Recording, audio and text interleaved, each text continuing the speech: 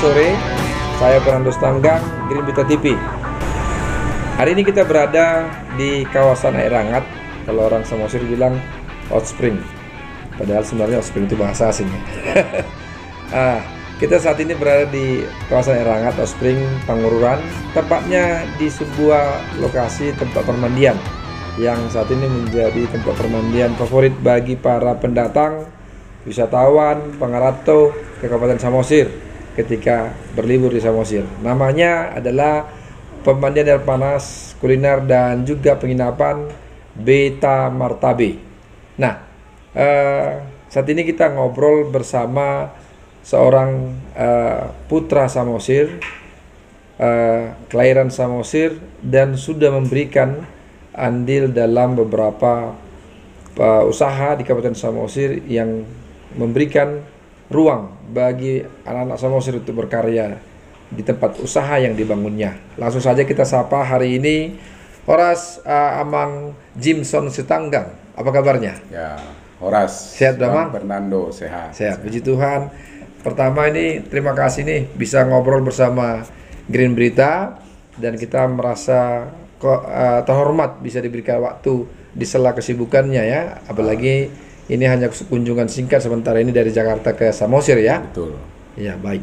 Nah, uh, Amang banyak orang sudah membaca berita tentang sosok Jimson Stanggang. Agak penasaran. Ini orangnya mana ya? Karena kan yang nampak cuma dari foto ya. Tapi dari uh, video penampakannya belum nampak nih. Penampakan apa kali penampakan ya? Oke, langsung saja Amang mungkin uh, masyarakat Samosir ingin tahu uh, sedikit tentang Amang dari mulai mungkin uh, nama lengkapnya sebenarnya siapa sih? Kemudian lahirnya di mana? Kapan gitu kan? Apakah memang lahir di Samosir atau bukan sih? Baru pendidikannya keluarga dan juga mungkin karir dan pekerjaan. Silakan Amang Jimson Setanggang baik terima kasih Green Berita. Bang yes. Fernando. Iya. Terima kasih nih atas dikasih kesempatan kita untuk memperkenalkan diri ya. Iya. Lewat medianya iya. Green Berita Green Berita, benar. Uh, memang saya lahir di Samosir. Di Samosir ya. Tepatnya itu Limbong. Oh di Limbong. Limbong. Oh. Nama saya sendiri Jimson Stanggang. Iya. Tanggal lahir. Iya. 18 Februari 1969. Kalau 69 sekarang berarti umur umur 55 lah. Ah, lewat 55. sedikit ya. Tapi masih muda. 55 tapi pembawaannya kayak masih 40 ya. Baik. Bisa. Karena bawanya bawaan muda ya. Iya. Silakan Amang. Oke. Terus memang sudah berkeluarga. Iya. Dan punya anak tiga. Iya. Dua perempuan dan satu laki-laki istri namanya Risma Marisi Manik. Oh, Buru Manik ya? Buru Manik iya. dari Harian Boho itu. Dari Harian Boho. Nah, iya, iya. dekatan iya. itu. Dengan Tapi kita kenalan itu bukan di sini. Bukan di sini. Kalau di Samosir kita nggak kenal. Iya. Jadi kita kenalan di Jakarta. Di Jakarta. Karena mungkin iya. berdekatan kampung, iya. ada juga jodoh. Iya. Jadilah seperti sekarang. Jepang di Pangarato nanti. Jepang di tikungan kan. Tikungan. Begitu. Oke. Okay. Nah, jadi anak pertama perempuan. Oh. Anak kedua juga perempuan. Iya. Anak ketiga laki-laki. Laki-laki. Kami dikaruniakan tiga, tiga. sampai saat ini. Oh. Gak tahu kalau ada lagi Tuhan. Tiba-tiba ya. Kalau Tuhan nanti memberikan lagi rezeki, ya kita terima. Gitu. iya iya. Ya. Saya dengar anaknya ada kuliah di kedokteran juga nih. Oh iya. Iya ya. ya. Oh. Anak nomor satu nomor itu satu ya, kedokteran. Ya, dan memang puji Tuhan kemarin dia sudah selesai. sah jadi dokter. Perempuan udah, ya? udah lulus ya. Kadang-kadang kalau sudah satu yang berhasil seperti itu langsung ke lubang rohat ya? Sawatik sawatik baik. Ya. nah eh, boleh tahu mang eh, gimana sih pendidikannya dari mulai dari Limbong sampai ke Jakarta? Ah, ya baik. Saya menyelesaikan pendidikan SD di Limbong. Iya. SMP-nya juga di Limbong. Iya tetapi untuk tingkat SLTA, iya. saya ke Bengkulu. Hmm. Kebetulan di sana ada bang saya, oh, jadi saya ikut beliau. Beliau ya. Nah, saya melanjutkan di situ SLTA-nya. Iya. Itu STM. Iya. Kemudian saya melanjutkan pendidikan tingginya di Jawa. Jawa Barat ya. Jawa Barat. Nah, seperti itu. Oke. Okay. Uh, eh, kalau boleh tahu gimana apa sih yang menjadi uh, pekerjaan atau karir Amang uh, di, di, di saat sekarang ini? Saya menggeluti yang sampai sekarang lah ya, Iya. yang sampai sekarang lah ya. Saya bekerja menggeluti lah, menggeluti perekonomian, Iya. khususnya di bidang perkoperasian, Perkoperasian perkoperasian sampai dengan sekarang. sampai sekarang. Iya, Ya. iya. Artinya bagaimana apa perkoperasian yang berurusan dengan para pelaku uh, UMKM khususnya golongan menengah ke bawah ini ya, masyarakat Betul, langsung ya. iya. Ya, uh, pelaku UMKM mikro mungkin ya, banyaknya Ya, seperti jadi itu mungkin. memang untuk pasarnya koperasi mayoritas masih UMKM. Iya, betul. Nah, seperti Dan itu yang menopang perekonomian bangsa katanya. Ya, seperti hakikatnya koperasi. Koperasi ya, Iya. seperti ada ada apa salah satu yang disebutkan dalam undang-undang dasar ya. Betul. Ekonomi kerasakan koperasian. Baik. Nah, eh, kami melihat ini Amang Jimson eh, Sitanggang ini beberapa waktu belakangan sering ke Samosir nih. Apa sih Amang melihat? Bagaimana Amang melihat potensi eh, di Kabupaten Samosir yang kita cintai ini? Ya, baik. Terima kasih Bang Fernando. Ini Samosir. Waktu saya tinggal, Iya. ya masih jauh lah ya. Tahun berapa waktu ini? itu saya keluar Merantau. dari sini berarti tahun 85. 85. Wow. 85 saya udah meninggalkan Samosir kan. Iya, iya. Nah, dan waktu itu pun memang saya belum banyak tahu tentang Samosir. Ya SMP kan, belum Iya. ke mana-mana kan. SMP-nya di mana? SMP 1 Cianjur mula-mula. Oh, berarti belum pernah jalan-jalan ya? Belum pernah Iya, jalan-jalan. hanya sekitaran Cianjur mula-mula ya. Cianjur mula-mula ke Pangururan paling juga itu kan. Paling mar Marak Erang ada teh. Merangat. Nah, ini belum ada dulu begini. Belum ada Belum. ya? Iya, iya, iya. Nah, seperti itu. Nah, kemudian setelah saya berkeluarga Iya. dan dapat juga istri Iya. Orang harian Boho kan, Betul, orang iya. Samosir. Akhirnya kalau saya ada acara untuk keluarga istri, saya harus pulang. Iya. Ada juga acara untuk keluarga setanggang, saya harus pulang. Iya. Akhirnya saya menikmati. Iya. Memang sangat luar biasa kita di Samosir. Iya. Itu Iya. yang saya lihat. Yang luar biasanya apa? Dari pertaniannya juga luar biasa. Iya. Dengan lahan pertanian yang terbatas, Iya. tapi kita bisa dihidupi gitu. Bisa hidup ya. Kemudian pariwisatanya sudah memang maju. Berkunjunglah Hmm. sini ke Samosir ini. Apakah memang itu orang luar juga datang berkunjung ke sini di luar Iya. di luar Samosir lah katakan Iya. itu, ya. Sehingga saya memang benar-benar tertarik juga untuk kita untuk Samosir. Untuk Samosir ini ya. Untuk Samosir. Lain lagi potensi wisatanya ya. Ya, potensi wisata memang yang tadinya belum ada, Iya. belum dinikmati orang kan tadinya kan. Nah ternyata sekarang sudah disentuh dengan teknologi dan memang cukup indah sekali. Baik. Gitu. Gimana Abang melihat potensi ekonominya, terutama terutama pada kalangan ekono, apa usaha mikro- ekonomi mikro di Samosir ini? Saya lihat ini tetap uh, perbandingannya setelah saya tinggalkan lah ya. Iya. Maksud saya apakah berpotensi ke depannya? Oh iya, ini sangat berpotensi sekali Iya. bahwa dengan kunjungan para wisata, Iya. wisatawan Iya. yang datang ke Samosir, Iya. ya mereka lah yang menikmati dari hasil UMKM tadi Iya. tersebut, sehingga uang mereka akan tinggal di Iya. Samosir. Iya. Nah, seperti itu. Baik. Eh, Abang kan lahir di Samosir, eh di Samosir ya, Cianjur, Hmm. tapi di SMP sampai SMA akhirnya merantau ke perantauan. Nah, eh, banyak berkarir di Pulau Jawa. Nah, kalau boleh tahu nih, Bang, selama berkarir dan bekerja, eh, ah, apa sih yang Abang lakukan? Kan sering orang mengatakan bahwa Abang itu di- dikatakan pejuang ekonomi rakyat. Dalam pemberitaan disebut pejuang ekonomi rakyat. Apa sih yang Abang lakukan selama berkarir untuk masyarakat, eh, khususnya bagi para pelaku eh, ekonomi menengah ke bawah, membantu mereka untuk bisa berdiri di atas kakinya? Ya. Seperti memang yang sudah saya lakukan, saya menggeluti koperasi khususnya simpan pinjam. Iya, Artinya kita memberikan permodalan kepada Iya, betul. UMKM setempat. iya, Nah, maka dari itu mungkin timbul Mm. bahasa uh, pejuang ekonomi rakyat. ekonomi rakyat. Nah, itu kami lakukan saat kami memang di perantauan kami Iya. kan, uh, Bang Fernando. Iya. Nah, namun eh, saya juga berkeinginan untuk ada di Bisa di Samosir. Eh, pada hakikatnya mereka membutuhkan pendampingan modal lah. Iya, istilahnya ya, pendampingan modal, pendampingan modal. Nah, sehingga mereka bisa mengembangkan usahanya. Iya. Nah, yang menjadi berkat buat keluarganya Oh, iya, betul. Ada yang bilang, ah, dia berhasil mengembangkan ekonomi rakyat kan masih di Pulau Jawa. Nah, kan belum belum di Samosir. Nah, apakah abang eh, bagaimana abang melihat ini? Eh, iya. Karena memang waktunya banyak di Pulau Jawa ya. Pulau Jawa. Iya, ya. berkarir namanya pun Bang Ratu ya. Ya, namun setelah sering saya pulang ke Samosir, Iya. Saya berkeinginan juga, berkeinginan sekali ingin ikut hadir lah, membantu sekecil apa pun Apa pun gitu. Baik.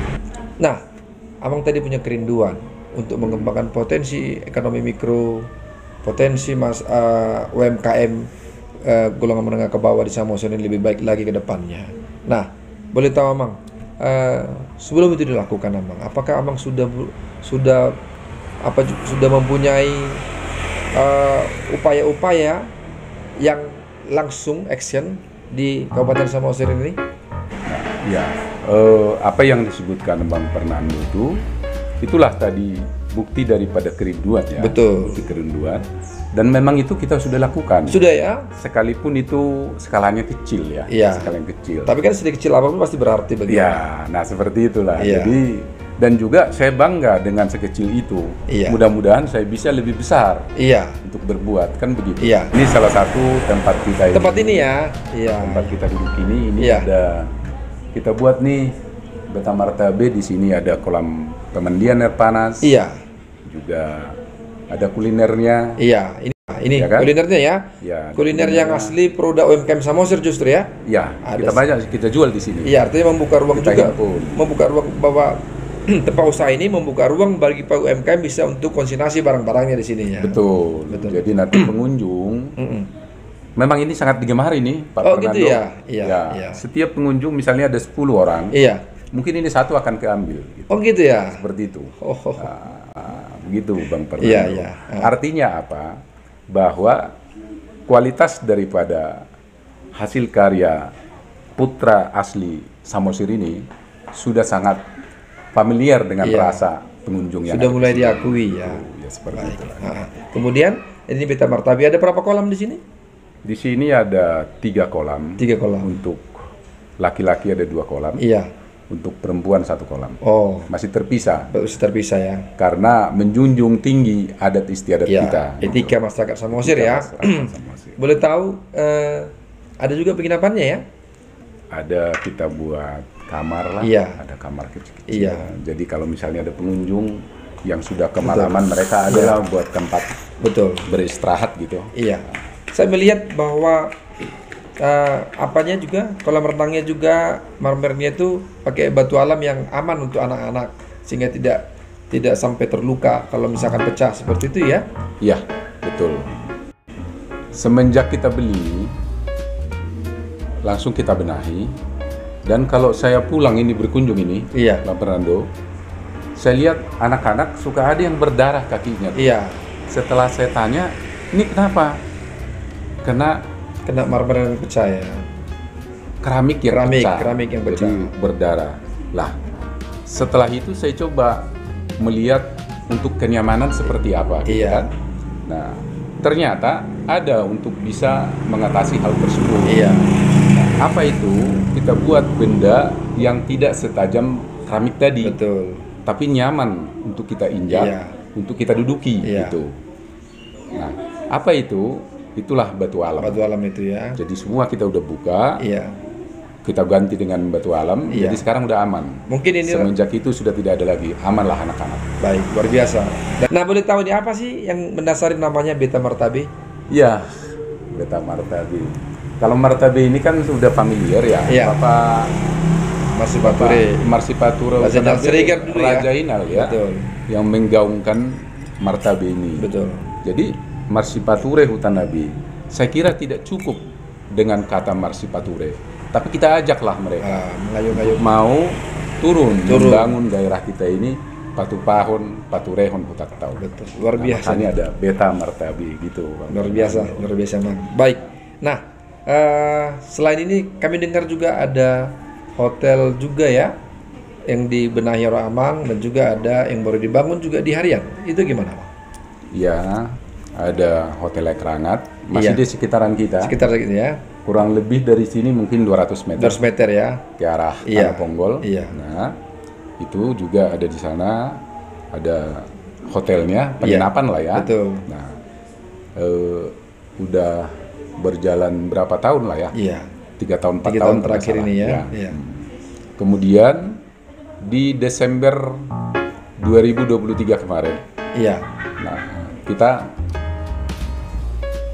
launching lah itu Beta Marta Beresort di Harian, Harian Boho ya. dekat Sibiabia. Oh, berarti di sepanjang jalan lintas mau ke Surabaya itu ya. Betul. Oh, iya. Jadi kita untuk Apa yang mendasari pendirian di sana? Ya eh, awalnya pada saat liburan setelah dibangunnya Sibiabia, Iya, memang banyak dimulai pengunjungnya dibangunnya sana ya. Sibiabia, pengunjung banyak. Oh, Waktu itu kalau nggak salah masih di YouTube jalannya itu Bang Fernando iya. yang lagi viral. Iya, yang bentuk love ya. Iya. Nah, pengunjung akhirnya stuck di sana, Iya, macet. macet. Mereka untuk cari makan susah, Hmm, Apalagi umat yang muslim ya. apalagi yang umat muslim. Iya. Nah, seperti itu. Saya melihat bagaimana saudara-saudara kita Iya, yang beragama muslim ini bisa nyaman. bisa nyaman Menikmati untuk makan. makan minum begitu. Betul. Nah, dengan eh, kejadian seperti itu, saya Hmm, ingin menanggulangi hal tersebut. Terpanggil, Bagaimana ya. nih untuk bisa menyelesaikan hal tersebut? betul. Itulah kebetulan kita ada dapat lahan, Iya, kita bangunlah rumah makan. Iya. Kita buatlah di situ Rajo Minang dan memang masakan Padang iya. yang dikelola oleh orang Padang. Kalau kita pedang juga ya. Ya, Iya. gitu. Ada juga katanya penginapannya ya. Penginapan ada rumah lumbung. Rumah lumbung. Ada rumah lumbung dua unit. Iya. Jadi apabila mungkin ada keluarga Iya. yang belum dapat tempat tidur bisa di sana. Seperti Baik. itulah. Saya mau bertanya ini, abang kan cukup Ya. aktif nih, buka Bita Martabe, Erangat Hotel, di di apa namanya tadi Harian Boho ya. Harian Boho. Kemudian juga sekarang udah banyak saya lihat melirik tanah-tanah untuk usaha-usaha lainnya. Nah ini kan bagian dari invest- investasi abang ya. Mau bertanya saya, ini kan sebenarnya orang kadang-kadang berpikir ngapain investasi di Samosir eh, pasti sulit kembalinya. Menurut abang lah, apakah profitnya justru lebih tinggi investasi di Kabupaten Samosir Ya. dibandingkan di kota ini? Mungkin bisa dijelaskan. Ini, ini pertanyaan bagus ini. Iya, iya. Fernando. Eh, tentu inilah bukti daripada tadi saya bilang itu Iya, saya rindu dan kecintaan terhadap Samosir. iya. Jadi yang saya lihat di sini bukan di awalnya profit. Jadi bukan bisnisnya Bang Fernando. Oh. Saya lihat. Bagaimana saya bisa hadir untuk ada di Samosir Iya, untuk membantu ya sekecil apa pun. Iya. gitu. Jadi kalau berbicara profit yang sudah pasti ketika berinvestasi di kota iya, ya kemungkinan persentasenya pasti udah lebih besar lah dibanding iya, dengan di daerah seperti kita. iya, kan. Kenapa saya buat seperti itu?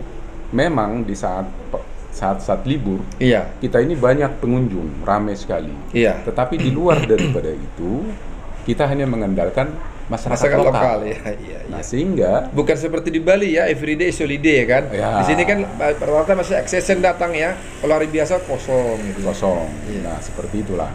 Jadi bukan profitnya, Iya. kecintaan dan Oh, kerinduan terhadap Samosir. Samosir, Begitu. ya. Tapi kita juga tidak menafikan ilmu ekonomi. Oh, Syukur-syukur nanti setelah lima tahun iya. ke sana memang itu menjadi profit Tinggi ya. Artinya semacam feeling bisnis juga juga ada di sana ya. Bagaimana ini bisa berkembang terus ya. Ya, mudah-mudahan. Iya, baik. Baik emang eh, mungkin sebelum kita akhiri perbincangan kita ini eh, mungkin ada closing statement Amang.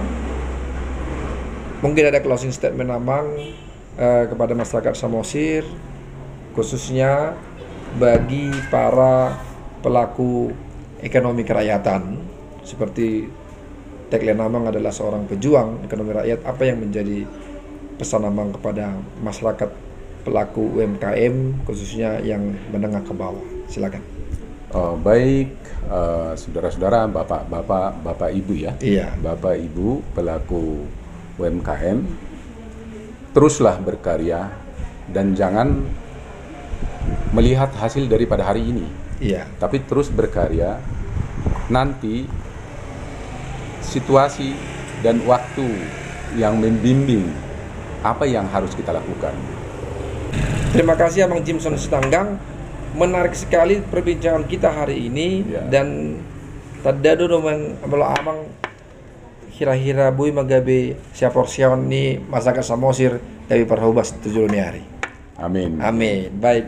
Demikian tadi uh, perbincangan kita, obrolan kita bersama Abang Jimson Sitanggang. Semoga ini membuka ruang, membuka pemikiran bagaimana Jimson Sitanggang punya keinginan, punya kerinduan untuk membangun Samosir baik itu melalui usaha yang sudah dilakukannya maupun kerinduan bagaimana mengembangkan para pelaku-pelaku ekonomi kerakyatan khususnya UMKM yang golongan menengah ke bawah.